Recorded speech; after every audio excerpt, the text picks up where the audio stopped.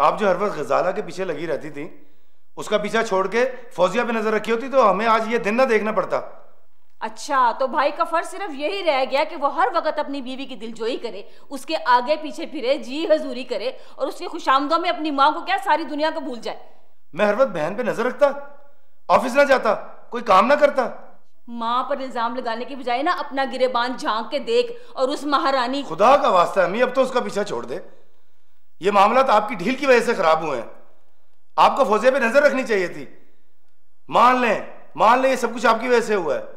मगर आप ऐसा क्यों करती? आपका ध्यान गजाला से हटता तो कुछ और देखती ना आप। बहुत अच्छे अफजल बहुत खूब। बहुत खूब। मैं बूढ़ी औरत उस पर हर वक्त नज़र लगा के बैठी रहती चौकीदार बन के हाँ? अम्मी अम्मी बात नज़र रखने की नहीं है। बात घर के माहौल की है। आप दूसरी माओ की तरह उस पर नज़र रखती तो हाँ हाँ मेरा एक कसूर है। मार दो मुझे। दफना दे जाके कहीं। चलो। आपसे जरा बात करो तो आप जज्बाती हो जाती हैं। ना तू मुझे ये बता जवान बहनों के भाई उन्हें कॉलेज स्कूल छोड़ते लाते ले जाते नहीं है? उनके आने जाने वाले पर नज़र नहीं रखते हैं? ये भाइयों का फ़र्ज़ नहीं है। अम्मी आप ज़्यादा कर रही हैं। मेरा मतलब आपको इल्ज़ाम देना नहीं है। आपको सही सूरत हाल बताना है। अगर आप उस पर नज़र रखती तो ऐसा कुछ ना होता। हाँ हाँ अब तू मुझे बताएगा ना क्या ठीक है क्या सही है अच्छा क्या बुरा क्या है। बीवी के चक्कर में तू तो अंधा हो गया तेरी तो आँखों पे चर्बी चढ़ गई है। तुझे माँ को पता ही नहीं कि माँ की खिदमत भी करनी होती है। खुदा का वास्ता गजाला का पीछे छोड़ के फौजिया की शादी की तैयारी करें ताकि वो अपने घर की हो। गजाला हर वक्त उसकी माला जपता रहता है गजाला गजाला की।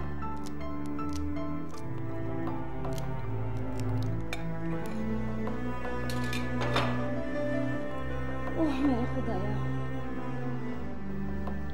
फौजिया बहुत बेवकूफ़ है तू। जब कुछ ऐसा वैसा हो ही गया था तो भाई के सामने इकरार करने की क्या ज़रूरत थी? और वो फिर महारानी आकर ना इस घर पे राज करेगी और हमारे सीनों पर मूंग दलेगी अम्मी आपने सुना था ना अफजल भाई ने कितनी बुरी तरह मुझे डांटा था। तो मैं क्या करती और? क्या करती? उसकी तो अक्ल ही जवाब दे गई है। पर बेवकूफ़ी तो तूने भी की है ना? अव्वल तो उसके साथ इतनी रात की गाड़ी में आना ही नहीं चाहिए था। और जब मामला इतना बिगड़ गया था तो क्या ज़रूरत थी भाई के सामने सच बोलने की? तुम्हें को सच्चाई का दौरा पड़ गया? अम्मी। अम्मी की बच्ची। अम्मी अब क्या करे? मामला इतना बिगाड़ गया तो अब अम्मी। इतना कुछ हो गया तो मुझे अब बता रही हो। क्या फ़ायदा था तुम्हें बताने का? तुम काम का परेशान हो जाती। अब तुम लोग भी मुझे इस काबिल नहीं समझती। हाय हाय खालदा ऐसे क्यों सोचती हो? तुम तो मेरी जान हो। मुझे तो अफसल भाई के रवैये पे हैरत हो रही है। इसीलिए मुझे किसी मर्द पे अब एतबार नहीं रहा। नहीं खालदा अच्छे लोग भी होते हैं। सब लोग एक जैसे थोड़ी होते हैं दुनिया में। शायद। सारा ने भी मुझे कुछ नहीं बताया।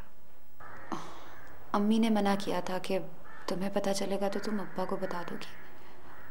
वो नहीं चाहती थी कि ज़्यादा लोगों तक बात पहुँचे। कैसी बात कर रही हैं अम्मी?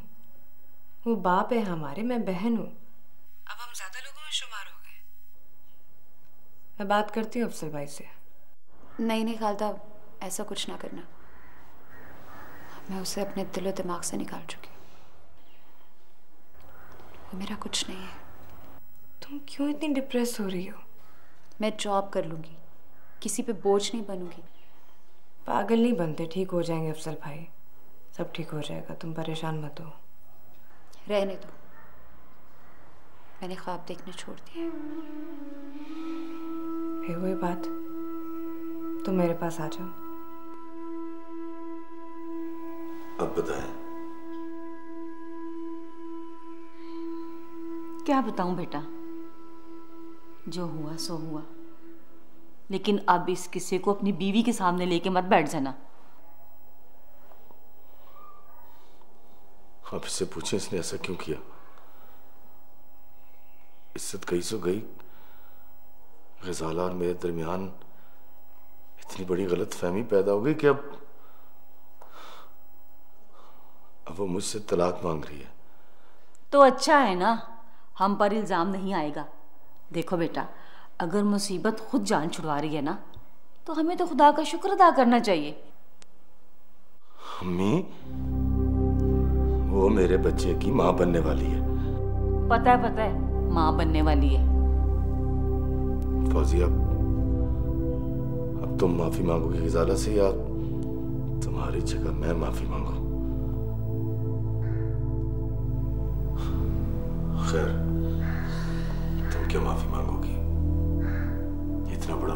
हो गया और तुम्हें अभी तक ये तौफीक नहीं हुई कि मुझसे सॉरी कर लेते भाईजान आप तो शादी करके अपनी ज़िंदगी में मगन हो गए।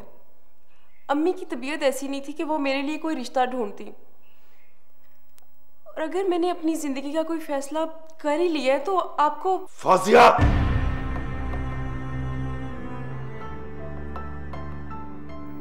सुन रही है क्या कह रही है बेटा, उसने कहा तो है, अहमद के घर वाले आएँगे। एक तो आजकल के बच्चे भी ना, अपने आप को बहुत ज़्यादा जहीन समझते हैं। देखो ना बेटा, अगर भाई तवज्जो नहीं देगा तो? वाह वाह। खूब गलत कर रही हैं अपनी बेटी की।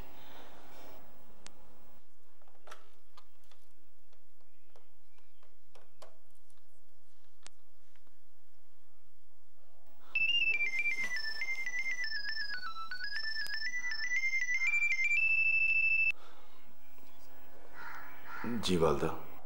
हाँ अफजल मैं वालदा बात कर रही हूँ।